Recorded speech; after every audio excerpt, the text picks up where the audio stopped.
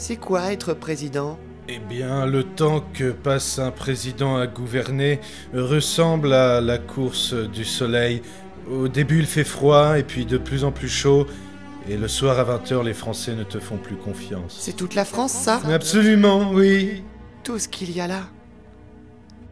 Même de l'autre côté du périph' Ça, c'est la banlieue parisienne, tu ne dois jamais y aller. Mais je croyais que tu devais prendre soin de tout le monde. Un président a autre chose à foutre que de s'occuper des sans-dents. C'est les pauvres. Regarde ces électeurs qui gambadent, sans se douter que j'ai rétabli le droit de cuissage. Mais pourtant, ils ont voté pour C'est toi. ça le plus rigolo dans cette histoire. Alors que j'enchaîne les bourdes diplomatiques et que je ne sais pas gérer mes poufias. Sans compter que, comme tu le sais Simba, depuis que je suis élu, il pleut tout le temps.